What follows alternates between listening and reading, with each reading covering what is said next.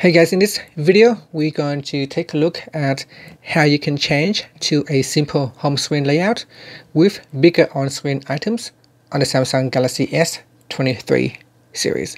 First tap on the home button to go back to the home screen. And on the home screen, swipe down at the top and then tap on the settings icon.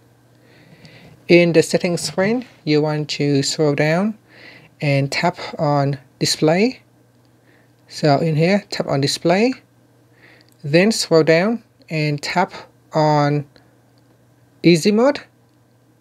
Now by default, easy mode is set to off, so you can see that when it is off, the screen will look something like this. Um, icons and text on the screen are usually smaller and it will display all the apps available on your uh, device. If you go into the settings and in easy mode, you can tap on easy mode toggle button to switch it on. Once it is turned on, you can change the touch and hold delay and you can also change the high contrast keyboard.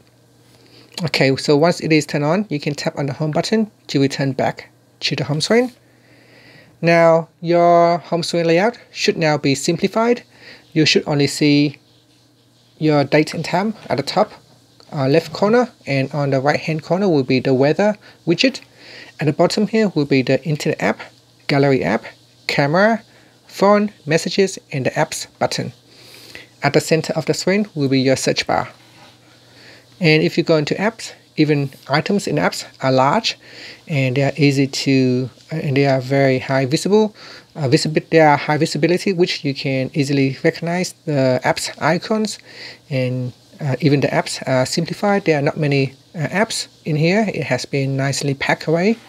And that's it. That is how you can uh, make, uh, how you can change the layout on the home screen to make things more simple and how you can um, make the icons uh, bigger.